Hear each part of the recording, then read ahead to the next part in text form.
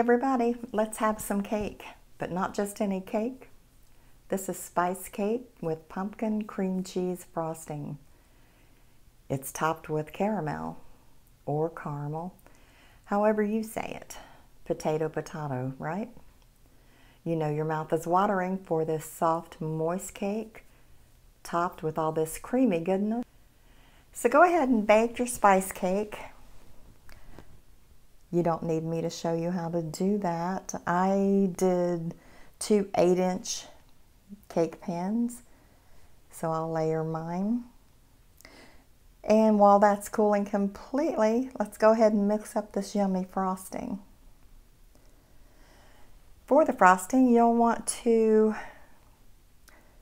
cream in the cream cheese and the one stick of butter.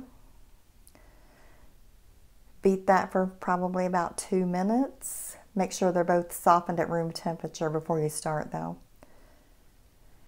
Then add in your one teaspoon of vanilla, one and a half teaspoons of pumpkin spice, and one teaspoon of cinnamon. Also add one tablespoon of milk. You're going to be adding three cups of powdered sugar.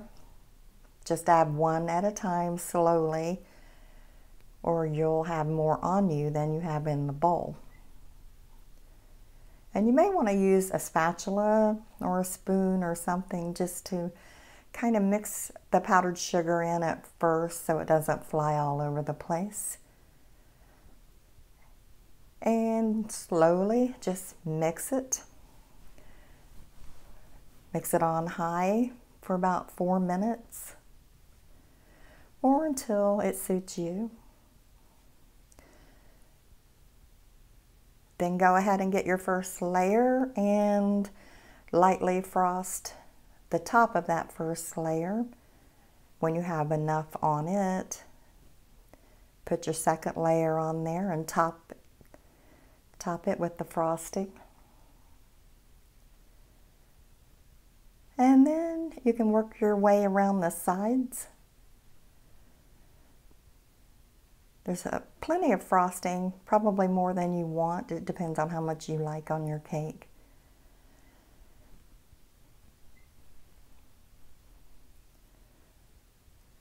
And I'm just going to slather it on there. It doesn't have to be beautiful.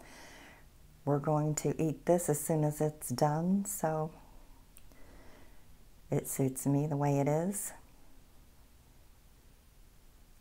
After I get all the frosting on and I frost the sides, then I will drizzle the caramel sauce all over the top. And there's no right or wrong here. It's however much you like, a little or a lot. I will say this cake is delicious. It, it was just so good, it actually shocked me. So I'm going to enjoy this now. You go ahead and make your spice cake and let me know how you like it. I'll see you on the next one.